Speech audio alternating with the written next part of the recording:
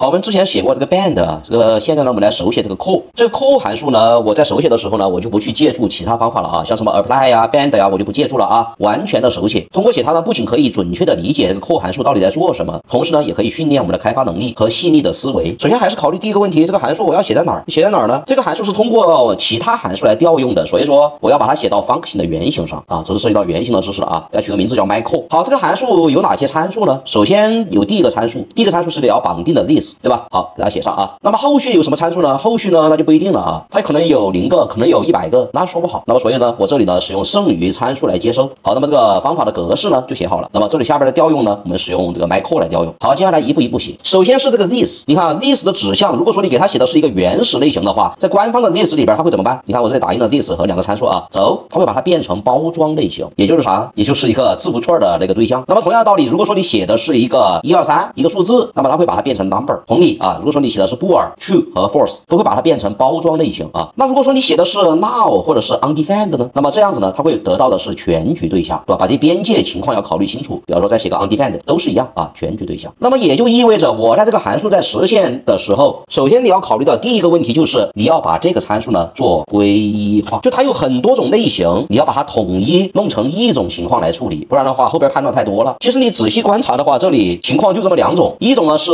它为 undefined 或者是为 now 的情况。那么这种情况下，我的 this 指向指向谁？指向的是全局对象。在浏览器里边是 window，在 node 环境里边就是 global。那我这里怎么来判断浏览器和 node 环境呢？你不用判断，你直接使用一个关键字啊，叫做 global this，它就能适配所有的环境。这个关键字呢，在浏览器环境里边就是 window，在 node 环境里边就是 global。OK，那么这种情况就搞定了。那如果说不是 undefined，不是 now 呢？哎，那你是不是还要判断它是数字，把它变成 number？它是字符串，我还把它变成 string，有必要吗？没必要。你直接来一个 object，把那个放进去，包一层就完事儿了。你看哈，比方说我有一个对象，你来一个 object，把对象放进去，你结果呢，它还是那个对象，两个是一样的。但是呢，你如果说包的是一个数字，它就会把它变成 number；你包的是一个字符串，它就会把它变成 string，对吧？你用 object 包一下就完事儿了。那么通过这个表达式，是不是就把那个 context 的情况，就是 this 指向的情况统一处理了？好，我们在这里呢，重新给这个 context 赋值，赋值为这个表达式的值。你要么就是 global this，要么呢就是这种情况。那么后边呢，我们就不用再去做任何判断了啊，这叫做参数归一化，把不同情况的参数给它归一成一种情况，后边就统一处理啊，这是一个非常重要的开发技巧。好了，通过这段代码，我们就保证了在后续代码中，这个 context 一定是对象，对吧？这一点是可以保证的。那么接下来我要做什么呢？我要运行的是哪一个东西？运行的是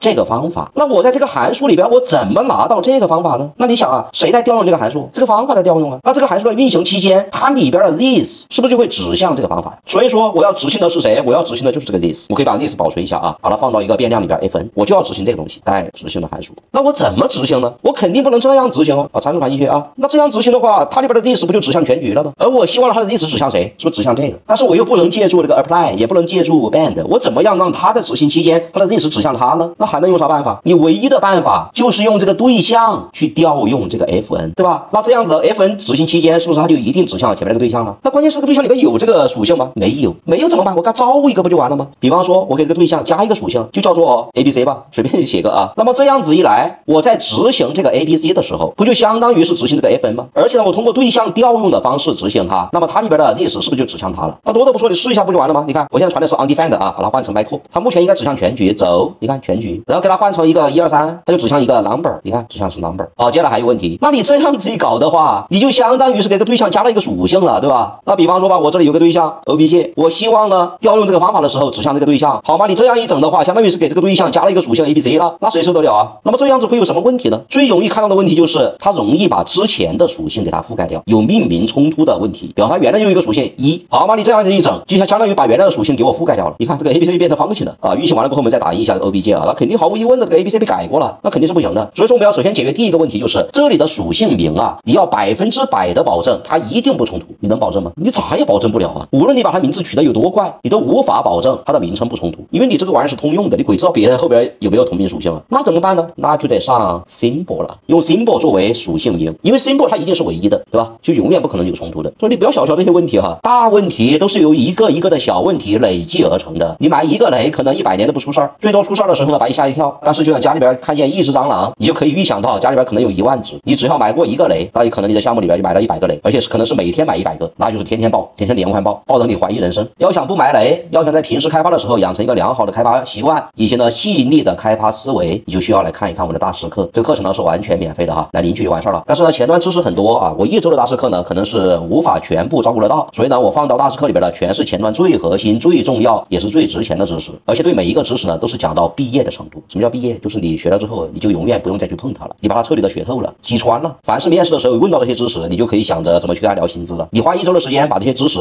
认认真真的学完，你就会明白我们那些三四十万年薪起步的同学，他学的是什么东西，他是怎么做到的，你就彻底明白了。好，这个课程呢目前还可以免费领取啊，怎么领？加屏幕上方的账号，找我的小助理，按照提示领取即可。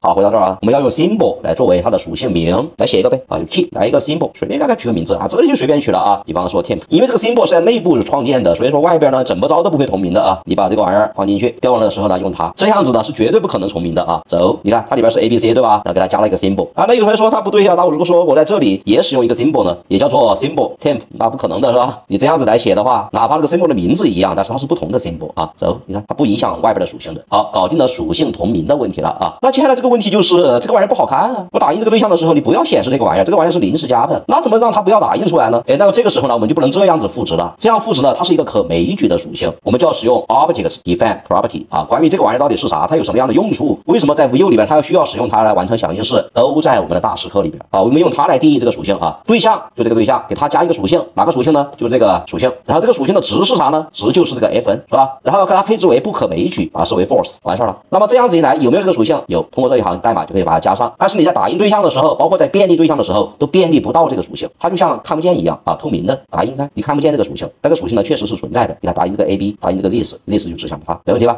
好，这一点也搞定了。然后你还不要忘记啊，当你完成调用之后，你要把这个属性给它干掉，你留着它干嘛呢？你不要留着它了啊，你用 delete 把这个属性呢给它干掉，因为它只是个临时的啊，调用完了过后那就完事儿了。还有吗？还有返回值，这个函数运行过后呢，可能会有一个返回值，你看这里返回了 a 加 b，对吧？那么调用 call 的时候呢，依然要把这个返回值返回，好，就写完了啊，就是 call 的实现方式啊。那么这样子呢，就完成了。this 的指向没问题了啊，这里换成数字啊都没问题啊，试一下啊，走，你看都没问题了啊，而且呢返回值也没问题了，这里可以拿到它的结果，打印走都没问题了啊，这就是 call 方法的实现啊。当然你平时开发的时候呢，肯定不会让你自己去写一个 call 方法，但是呢，通过它可以考察你的思维能力、开发能力以及对技术的理解能力。所以面试的话，它不可能让你现场来一个大项目的编写啊，同学你来面试了，我要考察你有没有能力胜任工作，所以说你先给我来三个月的项目来给我做一下，能不能做得出来？那谁会这样面试呢？他一定是在最短的时间内看出你到底能不能行，所以他必须给你上强度。二三十分钟你能干个啥吧？那你只能在极短的时间内给你上一个高强度的东西，能不能做得出来？这个强度一定是比他平时工作的强度要高。你知道一个公司如果说招错了一个人，他的损失他妈的太大了。所以说你以后你成为面试官，你也没办法，你只能靠这些，你不可能跟他考真实项目的，你怎么靠真实项目吧？考不了。所以说这些玩意儿呢，也不是说完全没意义啊。那其实你要完成这些题的话，你只要能够在平时积累知识的时候理解到位，就不会有什么问题。理解不到位那就没办法了。